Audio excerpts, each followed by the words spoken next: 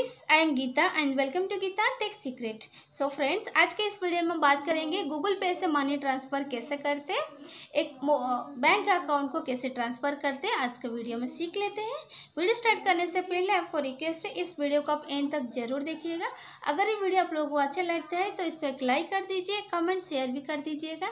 जो first time हमारे channel देख रहे हैं तो please friends subscribe our channel and also press the bell icon उसमें ऑल नोटिफिकेशन ऑन कर दीजिएगा, ताकि आने वाला वीडियोस का नोटिफिकेशन आपको फ़र्स्ट फ़र्स्ट रहेगा तो फ्रेंड्स चलिए आज के वीडियो स्टार्ट करते हैं। So friends Google Pay open करने के बाद न्यू पेमेंट ऑप्शन के ऊपर क्लिक करेंगे। बाद में यहाँ बैंक ट्रांसफ़र का ऑप्शन ऊपर क्लिक करेंगे। जैसे बैंक ट्रांसफ़र का ऑप्शन ऊपर क्लिक करेंगे, इस तरह का पेज ओपन हो जाएगा। तो कस्टमर का जो अकाउंट नंबर है, वो एंटर कर लेंगे एक बार और एक बार री एंटर भी कर लेंगे। फिर बाद में यहाँ I F F C code पूछेगा। तो I F F C code पूछने का, डालने के बाद यहाँ कस्टमर का नेम भी डालना होता है, जिसको हम मनी सेंड करना है, उसका नेम डालते हैं।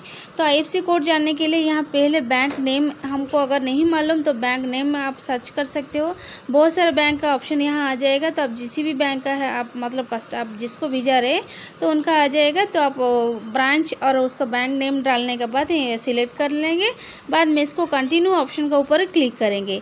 जैसे हम कंटिन्यू ऑप्शन ऊपर क्लिक करेंगे, बाद में इसको कितना अमाउंट भेजाना है तो आप वो भी अमाउंट यहाँ डाल सकते हो। मतलब आप यहाँ आप दस हज़ार, पंद्रह हज़ार, बीस हज़ार, कितना भी अमाउंट भेजाना चाहते हो तो आप यहाँ अमाउंट एंटर कर लेंगे।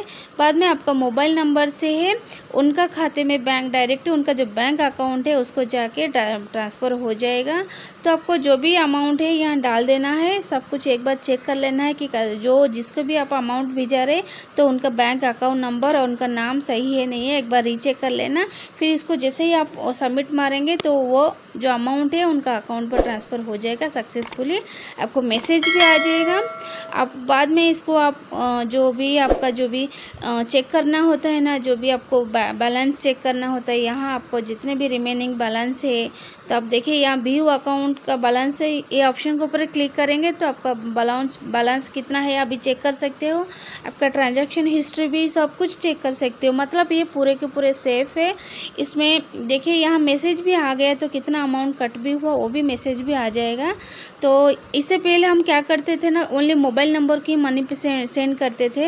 लेकिन अभी आपको अगर सामने वाला का मोबाइल पर बैंक अकाउंट मतलब जैसे कि मोबाइल फ़ोन पे, गूगल पे, ये सब नहीं रहता तो हम इसको बैंक को भी ट्रांसफ़र ऐसे ही कर सकते हैं। सो so फ्रेंड्स इस तरह का हम मनी ट्रांसफ़र गूगल पे से दूसरा बैंक अकाउंट को डायरेक्ट ट्रांसफ़र कर सकते हैं। तो आप लोग ज़रूर इसको इंस्टॉल करके कर लीजिएगा।